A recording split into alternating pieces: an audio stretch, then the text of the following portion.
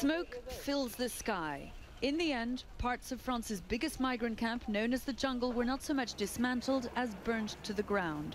For hours, firefighters fought the blaze, and that left the jungle looking like this. Once the fire was tamed, those who still call it home, its children, were allowed back in, much to the anger of the humanitarian workers.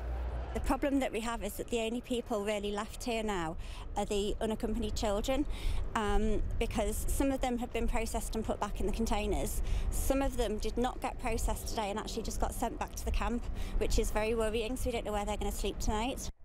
Tonight, one of the most potent symbols of Europe's migrant crisis lies in smoky ruins. But there are those who fear that it could come back. And it isn't just those who protect the migrants that are worried, but also local authorities. They point out that Calais has simply been the victim, and for years now, of a policy failure that lies on the other side of the channel. Uh, the British government says it refuses to welcome migrants, but we know they keep crossing the border. And when they arrive, the British government let them integrate Britain, and it is hypocritical. CNN is trying to get through to the British Home Office to get their response.